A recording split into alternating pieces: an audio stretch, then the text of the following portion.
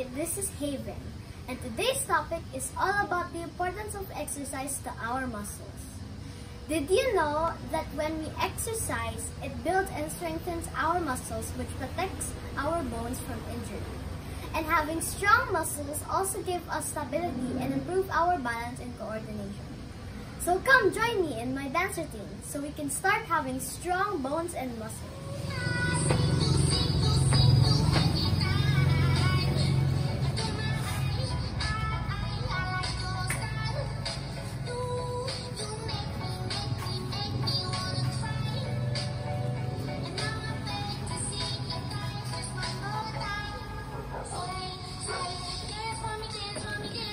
That's it for today.